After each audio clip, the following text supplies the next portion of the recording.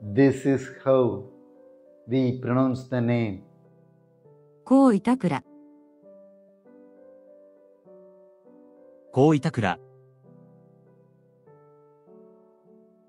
高板倉、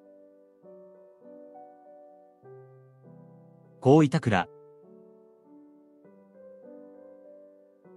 Please subscribe to the channel.